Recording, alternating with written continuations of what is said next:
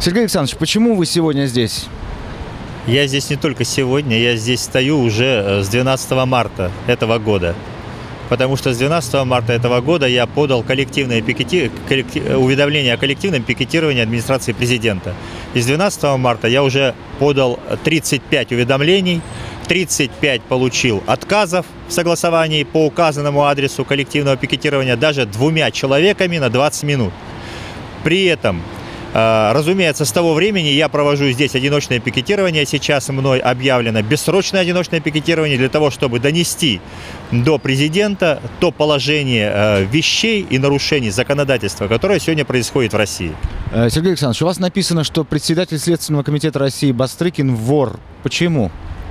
Вор стоит в кавычках, потому что вор это укравший деньги, какие-то имущественные ценности. Господин Бастрыкин в кавычках вор, потому что он украл права граждан на восстановление нарушенных прав, а именно а, Сегодня а, седьмой абзац а, пункта 21 инструкции господина Бастрыкина, это нормативный правовой акт, приказ номер 13 от 5 марта 2012 года, которым он сказал, дорогие граждане, если вы хотите, чтобы я зарегистрировал заявление в книге учета сообщений о преступлениях на судей, то вы не должны подавать кассационные, апелляционные и надзорные жалобы. Более того, вы в них не должны указывать об этих нарушениях. Если вы укажете о них, и суд сделает выводы, даже что данное решение, приговор или иной судебный акт являются неправосудными, такие заявления регистрироваться не будут как сообщение о преступлении. Одним словом, господин Бастрыкин узаконил коррупцию в органах судебной власти. И теперь должностные лица, э, и теперь судьи не несут никакой э, уголовной ответственности за все должностные преступления, в том числе и за взятку получается. И к чему это может привести или уже привело? Это уже приводит, а приведет в ближайшем будущем вообще к хаосу права, по одной простой причине, что сегодня судьи вообще априори не подлежат уголовной ответственности ни за какие должностные преступления по воле просто следователя Следственного комитета. То есть э, если у нас всегда в России судьи выносили периодически незаконные решения, приговоры, там, иные судебные акты, бывало такое. Э, это были единичные случаи, это происходило, то сегодня эта процедура, она узаконена сегодня судьи вообще могут не нести по воле, я еще раз говорю, следователей Следственного комитета Российской Федерации уголовной ответственности за должностные преступления. Сергей Александрович, ну может быть это нормально? Вы вспомните первый указ Владимира Путина, который фактически освободил от всякой ответственности Бориса Ельцина. Если чиновнику номер один в стране можно, то почему нельзя другим чиновникам? Я абсолютно с вами э, могу согласиться с этим э, парадоксом в российском праве э, у нас господин президент сегодня э, приручил полностью судебную власть. Он ее купил э, данной безответственностью, узаконенной господином Бастрыкиным, так как я непосредственно президенту неоднократно об этом писал свои обращения. Ответ был? Ни одного ответа нету. Э, более того, если я, я трижды э, требовал от Генеральной прокуратуры в соответствии с законом 172 о проведении антикоррупционной экспертизы в Российской Федерации, провести антикоррупционную экспертизу указанных мной незаконных положений антикоррупционных, то мне трижды Генеральная прокуратура возвращает весь материал. Я трижды подавал в Басманный суд на оспаривание данного нормативного правового акта в части абзаца 7, ранее абзаца 2 которым вообще была узаконена коррупция среди всех должностных лиц органов государственной власти. Мне трижды судья Курносова, которая в первом случае также признала законным абзац второй, но Бастрыкин признал ее решение незаконным, потому что 5 марта этого года отменил сам свой абзац, изменил его и вставил э, отсутствующую в нем правовую фразу, конкретные данные о признаках преступления, которая имеет отношение к части 2 статьи 140 УПК РФ, это основание для возбуждения уголовного дела. Ранее господин Бастрыкин с 3 мая 2011 года взял и убрал ее из своей инструкции. Тем самым э, полностью создав коррупционный документ, узаканивающий коррупцию в органы государственной власти среди должностных лиц.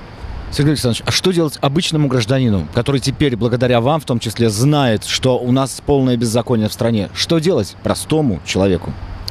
Люди уже делают. Эти граждане выходят на марши миллионов, на митинги миллионов и правильно делают. Другое дело, другое дело, что они знают, они выходят, вот многие говорят сейчас, вот выходят за деньги. Нет, дорогие граждане, а, на марше миллионов выходят в основном граждане, которые пострадали от этой коррупционной государственной власти.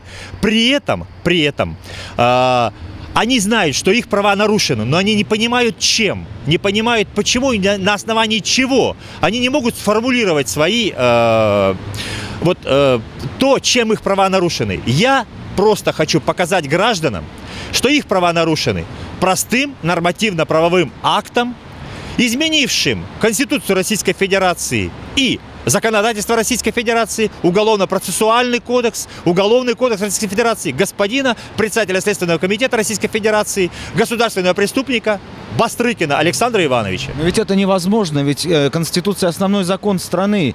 Как можно каким-то подзаконным актом изменить Конституцию?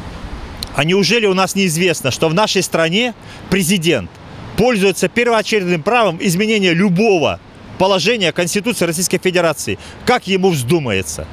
Ведь это происходит везде и вся. Федеральный закон 54, по которому я сейчас здесь стою, в одиночном пикетировании.